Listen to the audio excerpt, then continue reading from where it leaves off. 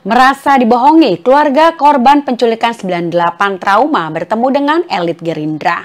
Saudara pihak keluarga aktivis korban penculikan 98 disebut mengalami trauma setelah mereka bertemu dengan dua petinggi Partai Gerindra pada hari Minggu 4 Agustus. Sekretaris Umum Ikatan Keluarga Orang Hilang Indonesia atau IKOHI Zainal Mutakin menjelaskan pihak keluarga korban mengalami trauma karena merasa dibohongi dengan adanya agenda pertemuan tersebut. Alasannya adalah karena para peserta tidak bertemu dengan pengurus IKOHI yang biasa menginisiasi agenda reuni keluarga korban. Keluarga korban justru dipertemukan dengan Ketua Harian Gerindra Sufmi Dasco Ahmad dan juga Wakil Ketua Umum Gerindra Habibur Rahman.